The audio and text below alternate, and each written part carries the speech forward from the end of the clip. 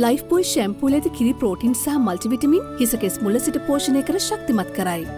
ගල්ල බලපිටිය මාදුගඟ ආශ්‍රිතව පිහිටා ඇති දූපත් අතරින් විශාලතම දූපත මාදුව දූපතයි. මාදුව දූපතේ සිට බලපිටිය නගරයට ගොඩවිම හරහා ගමන් කළ හැකි එකම මාර්ගය මෙම යකඩ පාලමයි. මෙම පටු පාලම මතින් පාපැදි සහ යතුරු පැදි පමණක් ධාවනය කළ හැකිවුවත් මාදුව දූපතේ ජීවත් වන පවුල් දෙසිය අටක පිරිසට සිය එදිනෙදා අවශ්‍යතා සපුරා ගැනීමට ඇති එකම මාර්ගයද මෙය පමණයි. බලපිටිය ප්‍රාදේශය සභාව මගින් මීට වසර දහයකට පමණ පමණ ඉහතදී මෙම පාලම ඉදිකර ඇති අතර නිසි නඩත්තුවක් නොමැතිකමින් අද වන විට එය දැඩි ලෙස අබලන්ව පවතිනවා.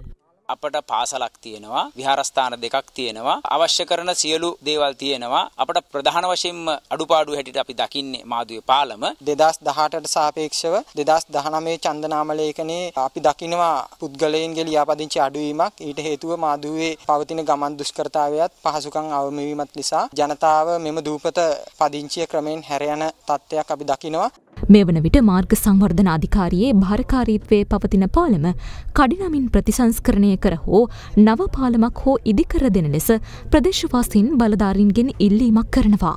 අද මේ පාල්ම අබලනලා තියෙන නිසා අපි ලොකු ජීවිත අවදානමක ඉන්නේ. මීට පෙරත් අවස්ථා රැසකදීම මේ මාදුව ගම්මැසියන්ට විවිධ අනතුරු වලට මුහුණ දෙන්න සිදු වුණා මේ පාල්මේ ගමන් කිරීමේදී. ඉතින් මේ නිසා අතිකරු ජනාධිපතිතුමාගෙන් ඉල්ලා සිටිනවා කරුණාකරලා අපට නව පාල්මක් හදලා දෙන්න කියලා.